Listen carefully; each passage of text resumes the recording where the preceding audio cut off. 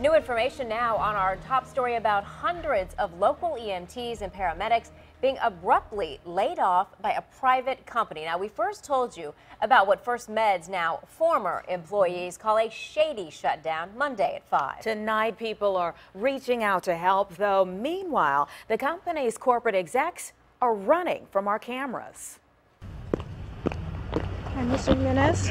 I'm with Wavy TV. My name's Anita Blanton. Are you with First Med? No. Uh, we're trying to find out when people are going to get their last checks. Can you tell us that?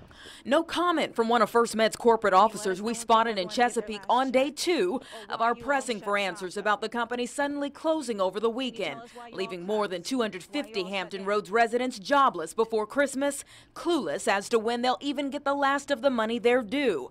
I sat down with one of those now former employees Monday. I'm still at a loss for words. It still feels like a dream.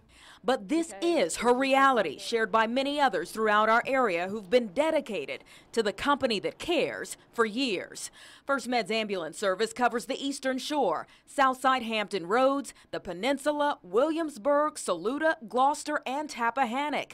The good news is that those unemployed workers are surrounded by a caring community that's already reaching out.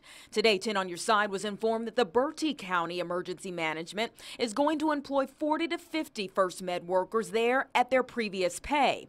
And one company that reached out to us. Um, our company predominantly provides security for multifamily housing communities and shopping centers. Now they want to offer jobs to 10 to 20 more people who may be interested in working with them. And we decided that it would be great to reach out to somebody because the qualifications of the people who work at First Med, um, it's pretty much in line with what we do here at Gardus.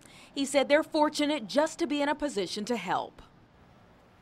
And you want to email info at Gardus and serve com to ask about one of those positions that I was just talking about. That email address is there on your screen. Now, I reached out to the company's CEO, Brian Gibson, today. He never returned our calls, but a source tells me that laid off First Med workers should be receiving their final paychecks by Friday.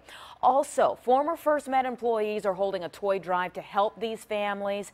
Donations are being accepted until December 20th at Mercury Property Management in Hampton. They'll be delivered by Santa to children on December 22nd and 23rd.